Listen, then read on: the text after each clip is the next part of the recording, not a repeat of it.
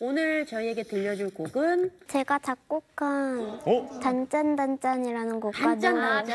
작곡한 곡을 갖고 제가 왔어요, 열 지금. 살때 작곡했어요. 열살 때. 열살 때요? 네, 떡볶이였는데 단 거랑 짠 거랑 합해지면서 그 느낌을 피아노로 표현해봤어요.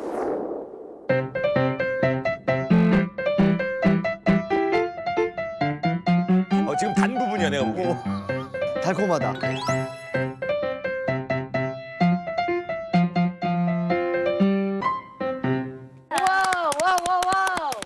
표현을 잘했네.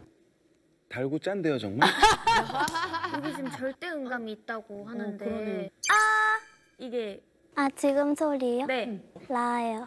그러면 그러면 나요? A A 네. 수인아 그러면